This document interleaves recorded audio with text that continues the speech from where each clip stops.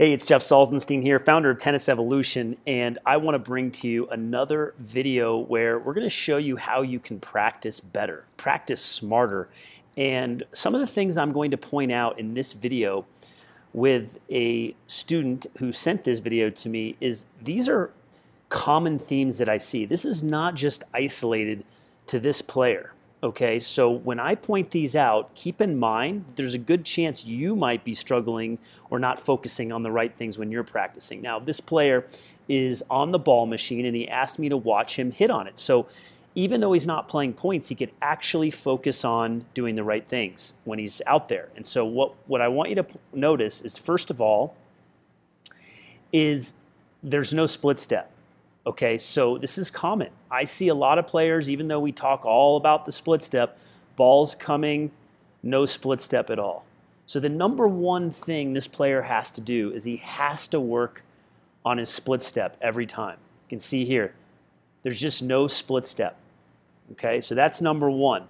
Let's move on to the next concept. So that's actually a good one to pay attention to.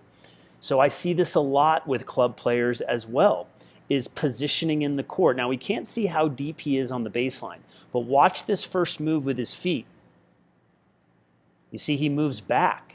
So he actually could be positioning himself right in this area of the court here, and then when the ball comes, he could actually move forward.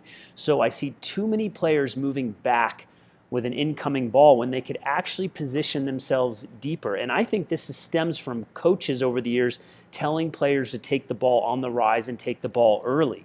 Well, that's fine and dandy unless you're finding yourself moving back when you hit the ball. Let's watch this ball. See, even this one, there's a drop step and he's moving back. He could actually get his weight going forward on this ball.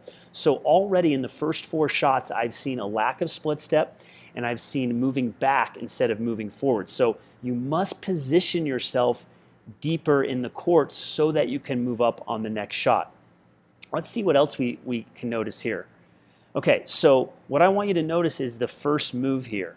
So I've talked about this in other videos, but look at this off arm. See how bent it is?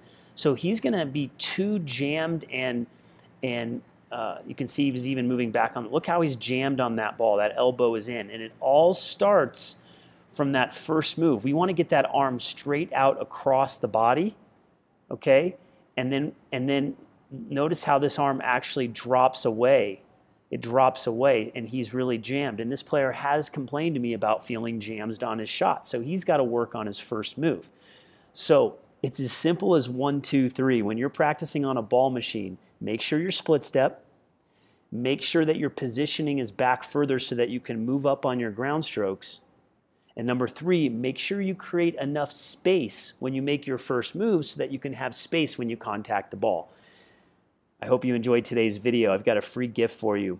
Learn three singles strategy myths that most players are making. I don't want you to fall for these myths. You can click the link in the description below. If you enjoyed this video, make sure you give us a thumbs up because when you do, it helps us. It helps the channel. It spreads the good word about what we're doing at Tennis Evolution. Please give us a thumbs up. Make sure you're subscribed and your notifications are turned on. Again, Click the link in the description below to get that free gift and learn the three single strategy myths that most players are making. I hope you enjoyed today's video. Let's get better today. Let's get better tomorrow. We'll see you at the next one.